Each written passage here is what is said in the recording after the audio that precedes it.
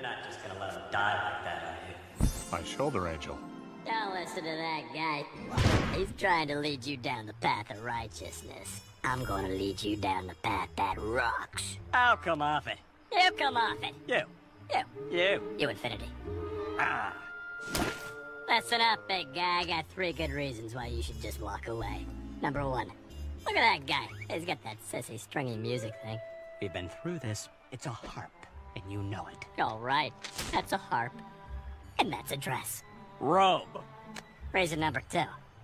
Look what I can do. But what does that have to do with anything? No, no. He's got a point.